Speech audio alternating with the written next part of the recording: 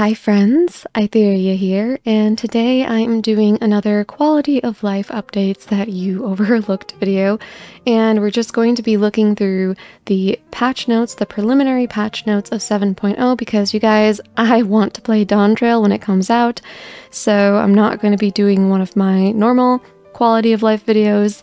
We're going to do this based on the patch notes so that I can enjoy the game too. Actually, you probably don't expect me to put out a video for like two-ish weeks once Dawntrail comes out. So anyways, let's just get into it. We're going to be focusing specifically on quality of life and nothing else. So if you want to see other stuff, you're going to have to go to another channel or just read the patch notes yourself.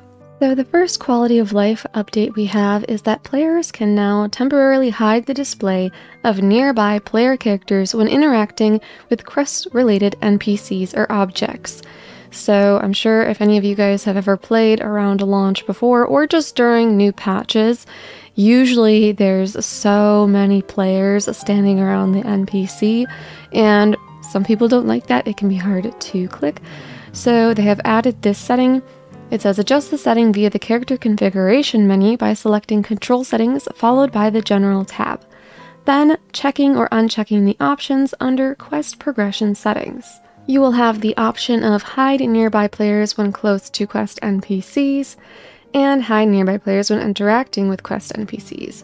Enabling the first option will temporarily hide nearby players when you approach NPCs or objects with a quest icon. And then the second one is enabling this option will temporarily hide nearby players when you interact with NPCs or objects with a quest icon. An option is available to also hide party members. These options are only applicable to NPCs or objects with a quest icon.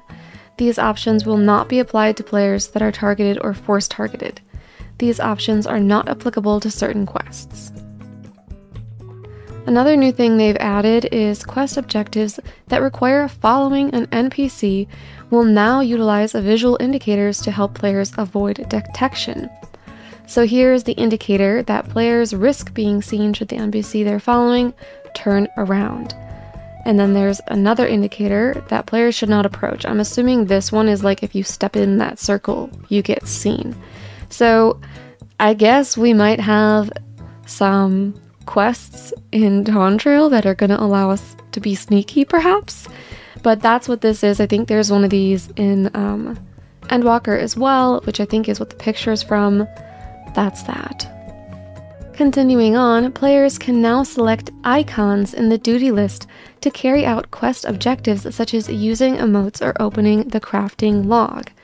But please note, as of the release of Dawntrail, this feature is only applicable to quests implemented in patch 7.0. Implementation for past quests is planned in future updates. So this is a thing that kind of already exists a little bit. Like if you have a quest item, like sometimes you have quests where you have to like throw a little bomb or something. And usually you would click this area here and it would have the item and you could use it. And now it looks like they're doing it with emotes as well. So you won't have to open the emote menu, you won't have to type it in chat. You'll be able to just click it on your screen uh, in this little text area here.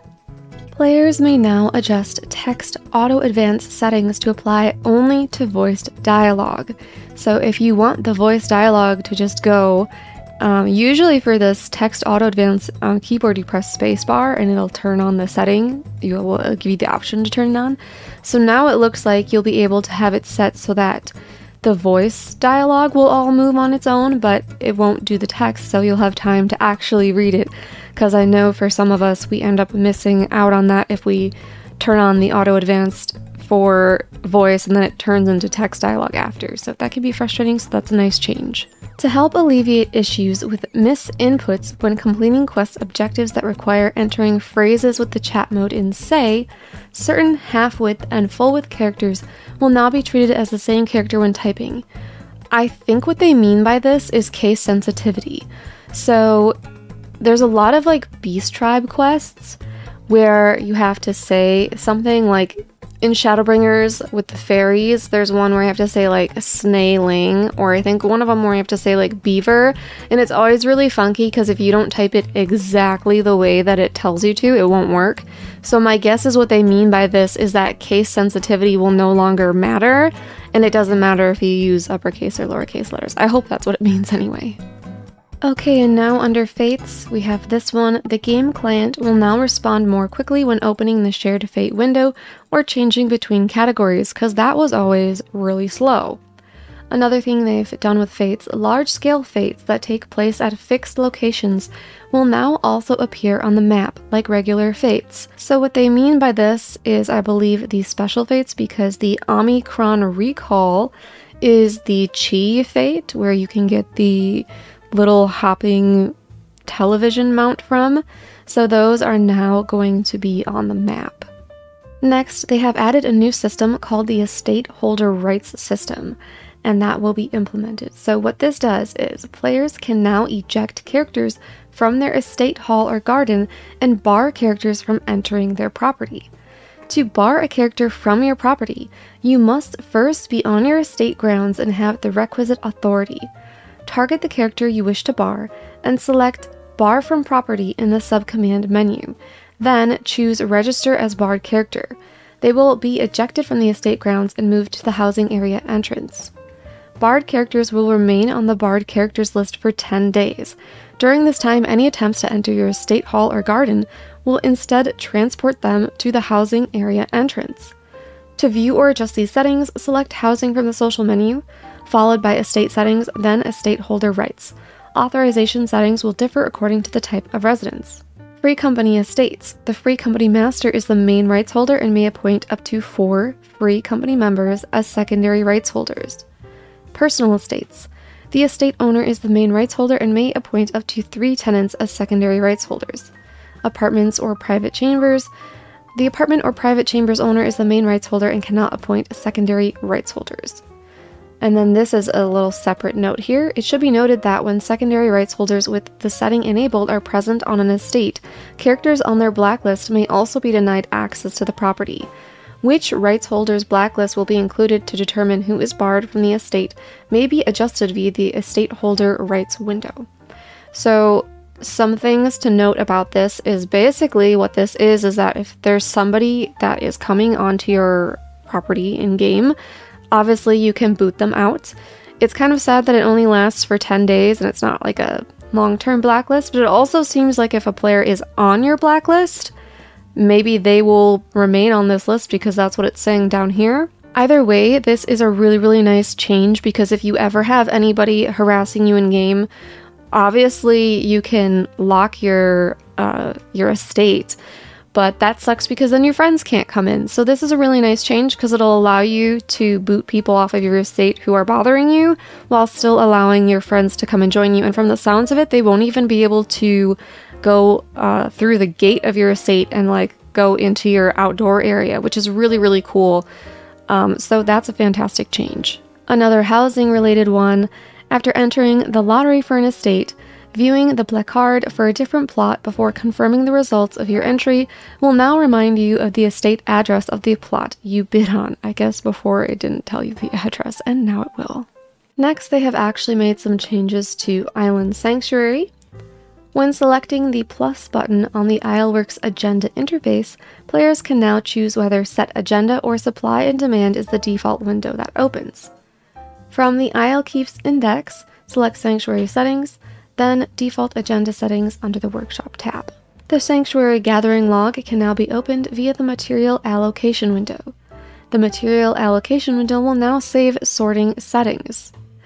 When selling materials in bulk via the Enterprising Exporter, the quantity set may now be saved for future transactions. So it sounds like largely it's just going to be saving some of your settings, and then there's a couple differences in the way you can change your settings here. The following additions and adjustments have been made to the duty finder. The only really important one here is when undertaking duties using unrestricted party option, players can now elect to leave a duty even during combat. So if you go in somewhere unsynced and you're in the middle of combat and you're like, I don't want to be in here anymore, this is taking too long, you can just leave. You don't have to finish killing things. You don't have to find a way to die. Sometimes it's super frustrating because if you go into like a lower level trial or something and you decide you want to leave, you're just kind of stuck there because the boss like is having a hard time killing you and if you can't like just jump off or jump into the wall, you're just kind of stuck. So this is so nice to be able to leave mid combat, especially since it's unsynced anyway. This next one, I'm not sure what they mean by this, but it says the Raid Finder now only lists trials and duties introduced with patch 7.0. Is the Raid Finder the Party Finder? Why are they calling it Raid Finder when in game it's called Party Finder? I don't know. Is that just like a weird translation? But it does say that you'll still be able to do all of these ultimates. You'll be able to access them via the Raid Finder. So I don't know what this means, but I felt like I should include it because maybe it's quality of life. I have no clue. Okay, and now they have added an entirely new system for glasses because a lot of people want to be able to wear glasses and hats at the same time. So initially they had made some glasses into fashion accessories, but now they are making the fashion accessory glasses into something called facewear that will have its own little slot in your character window. So, facewear, a new form of accessories for the head separate from other equipable accessories, has been added. Facewear can be equipped via a new equipment slot in the character window or by accessing the Facewear interface under Character in the main menu and will also appear in portraits. Facewear can be acquired by using corresponding items such as a copy of the Faces We Wear oval spectacles. Once acquired, they can be freely equipped or removed at any time and customized with a selection of 12 colors. Actually, I don't think the fashion accessories had colors at all, so this is actually an upgrade. I'm assuming that actual fashion pieces, like actual glamour pieces of glasses, are still in the game because this has saying that it's changing fashion accessories. So it says the following fashion accessories have been converted into facewear false oval spectacles, false shaded spectacles, false classic spectacles, rose colored spectacles. Players will now acquire facewear in place of the aforementioned fashion accessories. The fashion accessories listed above will no longer appear in Fashion Accessories window. However, players who acquired them prior to patch 7.0 may obtain corresponding facewear free of charge by speaking with the Calamity Salvagers located in Limsa Gridanian and Ul'dah. It should also be noted that the items used to acquire these fashion accessories have not been removed from the game. If one is in your inventory or obtained via trading or the market board, it can be used to obtain the corresponding facewear. Next, the item icons for files of Fantasia and Retainer Fantasia will now include a marker to better distinguish them from one another. So your normal Fantasia will have like a little person on it, where the Retainer Fantasia has uh, one of those like onion knight tomato dudes. I don't know what they're called, but that's what it looks like to me. The next big quality of life update is probably one you guys have heard about, but they are adding two dye channels, so we will have more control over how our stuff looks. So, up to two dyes can now be used on a single piece of gear. Gear that allows more than one dye will display two separate dye tabs in the item dyeing window. Additional gear that allows for multiple dyes will be added gradually in the future. Following this change to dyeing, currently selected instant portraits may need to be edited. Undo color selection and redo color selection buttons have been added to the item dyeing window. After selecting a color, it can now be set as a favored dye. An option to preview preferred color schemes using favored dyes has been added. An option to preview a previously applied color scheme has been added. An option to invert colors selected as dye 1 and dye 2 has been added. A marker indicating no dyes have been applied to an item has been added. When previewing your character's appearance while using a gamepad, players can now press R1 or RB to switch between color categories. So basically, they have changed the dye system. It's going to be hard to really understand how it works until we can get in there and play with it ourselves. But they're adding two dyes. This is what the interface is going to look like. We can choose favorite dyes and then we can toggle between different dye setups. I think it's just going to be really nice uh, for giving us a preview and allowing us to customize our dyes the way that we like them. The following items can now be equipped regardless of gender. Fairy Tale Princess Circlet, gloves, boots, vest, slops, and fairy tale princess's dress, long skirt, tiara, gloves, and heels. Sundry Splendors, a one stop shop for gear and items purchased in exchange for elegant tomestones and scripts, has been added to Old Sharlayan. The shop is unlocked after completing the main scenario quest Endwalker, and you'll see it's right by the Aetheryte. They do this in basically every expansion, like every time a new expansion comes out, the old expansion will get a merchant so, for example, if you go to Crystarium in Shadowbringers, there's a Moen's Merchant that's right by the Aetheryte, and this just makes it really easy for you to go get your Crypt Lurker gear or any of the Poetics gear that came out in Shadowbringers. Similarly, any of the raid gear is also available at the merchant. So that'll be the same, or it should be the same for Endwalker as well. So this merchant will have basically a bunch of old gear and stuff that came from Endwalker. But it also says script, so it should have crafting and gathering stuff, so it's easy for getting older stuff. The time until actions may be used after consuming certain medicinal items has been reduced. So I'm assuming if you're a raider and you forget to eat your raid food and you're worried about it ruining your opener, it may it might still ruin it a little bit, but it will at least be reduced. So that's definitely a nice change. After using the following items to grant a boost to experience points earned from synthesis, a system message will now be displayed when their effect expires. So we have company issued engineering, survival, engineering 2, survival 2, commercial engineering, commercial survival, revised survival, revised engineering manuals. Basically, there just is going to be a log message. So you will see when they expire. I'm guessing it's going to be one of those big ones that kind of comes across the screen the way like your uh, the way it does when you sell something, where it's like so and so bought your crap on the market board.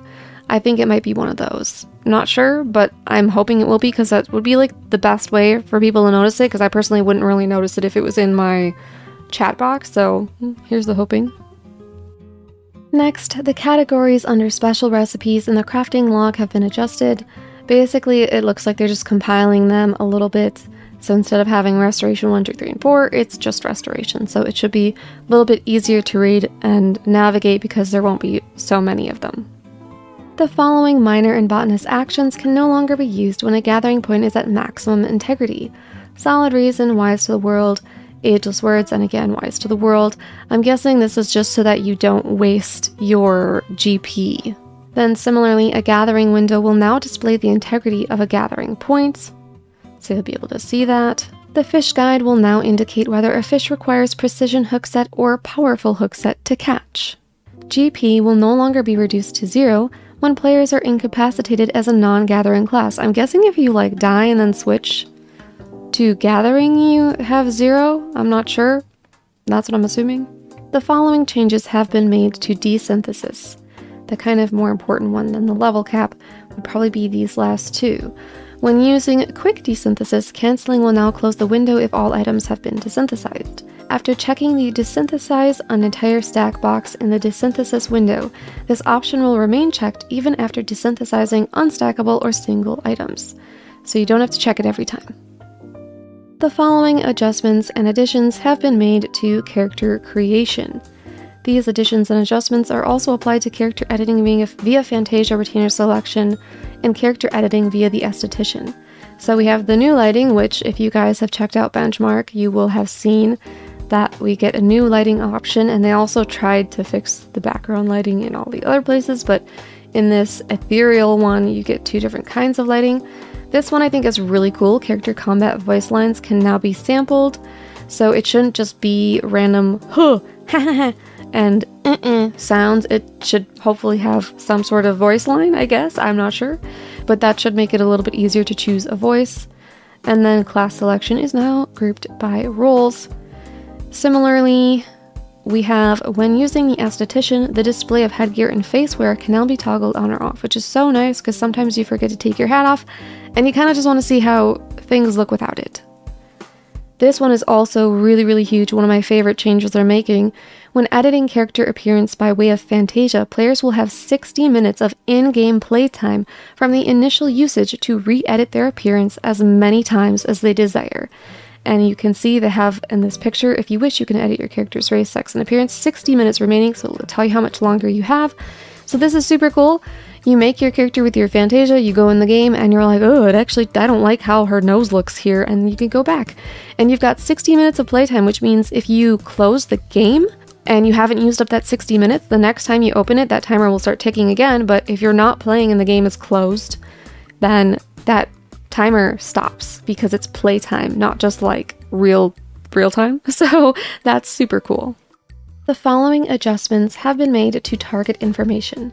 When a target's remaining HP is set to be displayed as a percentage, decimal values will now always be shown. When the setting display only detrimental effects you inflict is enabled, it will only be applied to enemy targets. Following this change, the name of the setting has been adjusted to display only detrimental effects you inflict on target. Next, the following additions and adjustments have been made to the Actions and Traits window. The default view of the Actions tab will now separate actions that can and cannot be assigned to the hotbar. A new option has been added, allowing players to choose whether certain actions will be replaced by another on the hotbar when executed, meaning I believe they would use the same button. So you use one, and if it's part of a combo, then it would become the other one, I think. A new option has been added to enable a recast timer to prevent erroneous inputs of actions that replace others on the hotbar upon execution. I wonder if this would help ninjas avoid the bunny, but I'm not sure. A glamour guide has been added to the following windows explaining the usage of various fashion related features such as dyes and glamours. This guide can be accessed at any time via the question mark icon in each window and it'll be in the windows for item dyeing, cast glamour, glamour dresser, glamour plates, armor, and facewear. A button to temporarily hide the display of the chat log has been added. That sounds nice. The following changes have been made to alarms. The maximum number of alarms that can be set has been increased from 10 to 30.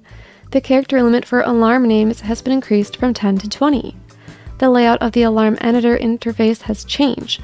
Simplified alarm settings are now displayed by default. Additional options are available after selecting the down arrow for advanced settings. The display of advanced settings will be saved even after closing the alarm editor interface. Sound options are now available for alarms. Super nice, that's gonna be great alarm sounds can now be muted while undertaking duties. Super cool updates to alarms. Another big update is the blacklist. Characters registered to the blacklist will be hidden. When joined in a party or alliance, their character will be displayed. However, their name will be displayed as unknown in the party list and on their nameplate. Messages from characters registered to the blacklist will be hidden. When joined in a party or alliance, a notification will be displayed when they speak during duties. After receiving a notification of blacklisted messages, players may elect to temporarily see what was written via the subcommand menu. Blacklisting will apply to all characters tied to the blacklisted character's service account. Blacklisting for party recruitment will now also apply to all characters tied to a service account. A system message will be displayed if a blacklisted player joins a party you're in, or if you join a party that contains a blacklisted player. New blacklist functionality will not be applied to characters tied to a blacklisted character's service account if they were registered prior to patch 7.0. The blacklist tab has been removed from the social window and will now be displayed in its own window found under social in the main menu. Players can now save comments regarding blacklisted characters. Maybe you can like write what they did to you. Blacklisted characters and all characters tied to their service account will also be subject to the lodestone blocked users list. So this is really nice because basically not only are you going to be able to hide people because in the past you blacklist someone they could still like follow you around emote at you and just kind of try to be annoying in that way. But now you won't even be able to see their character. And aside from that it will uh, blacklist every uh, character on their service account so they can't just make new characters to harass you with. They will automatically be blacklisted. However it does look like there's some issues because it says a new blacklist functionality will not be applied to characters tied to a blacklisted character's service account if they were registered prior to patch 7.0. So that might be kind of kind of an issue, but if they try to make new characters to bother you with starting from Dawntrail, they won't be able to do that. Similar to the blacklist, we also have a new feature, a mute list has been added. And this can be found under the social tab in the main menu. Messages from muted players. Muting will apply to all characters tied to the muted character's service account. While their messages cannot be seen, if they are members of your party or alliance, a notification will be displayed when they speak during duties. Players can also save comments regarding muted characters.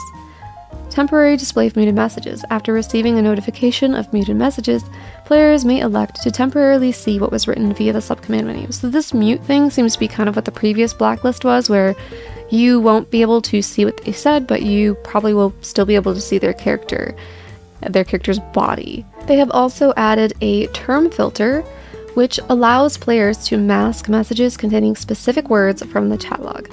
Once registered to the term filter, any messages containing designated words can be hidden from the chat log. Display of filter terms.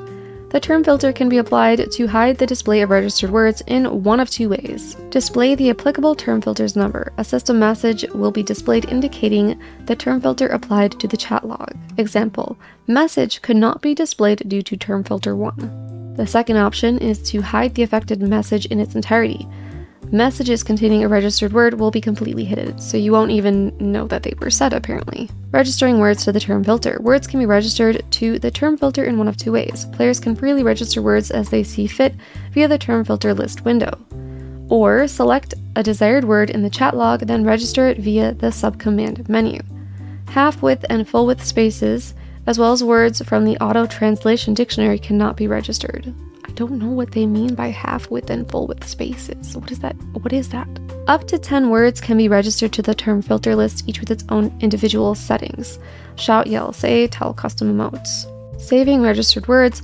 Term filter settings are saved locally. When playing on a different platform, words you wish to be filtered must be registered anew. Players can now use the mouse to drag and drop actions onto or off of the W cross hotbar. Supplementary explanations of graphical options have been added to the display settings in the system configuration menu, so you'll be able to open this little exclamation thing and find out more. The following additions and adjustments have been made to the system configuration menu on Windows and Mac. First, we have frame rate settings. So I think instead of because before it would give you like weird values, like mine would give me like 70 instead of 60. So now it looks like you're going to get 60 and 30. And they're also adding more settings. This looks similar to what we see in the benchmark, where you can choose some options with your resolution, such as NVIDIA DLSS. There's also options for grass, edge smoothing, shadow quality, texture detail effects, and then wet surfaces here, map resolution, texture detail effects. So I think with the new graphics update, we're just getting all these new options to customize and hopefully allow us to run the game well on our systems based on what we choose for all these settings. And they're doing something similar for PlayStation and Xbox, but it just doesn't look quite as in depth as the PC version does. They have also added a bunch of text commands or added adjustments to text commands so that they can do more. We talked about the facewear earlier and they added that. The mute list, the term filter, so all of those are getting added as well. And a really big one here with the text commands. The following text commands can now be used to adjust volume levels even during events such as cutscenes. So you can change master volume and background music. Sometimes I turn my background music off because it's annoying, and then I can't turn it on during a cutscene, and that's always super annoying. So we'll be able to do all of these during cutscenes, which is super duper nice. And that's pretty much it for all of the quality of life updates coming in 7.0, at least what is listed here in the preliminary patch notes. And I hope that this was helpful to you. Please leave a comment letting me know which quality of life update you are most excited for. I don't even know which one. There's so many good ones. I feel like the blacklist is going to be so nice. I don't even like need to blacklist that many people. Like I don't I mostly just blacklist the people that are like selling like RMT stuff cuz they're annoying. But also the housing thing, like the dyes, there's so much great stuff coming. So let me know what you're most excited about in the comments. And as always, please consider leaving a sacrifice for Lord Algorithm in the form of a like, comment, share, and subscribe. Thank you so much for watching, and thank you to my channel members for supporting me. Bye!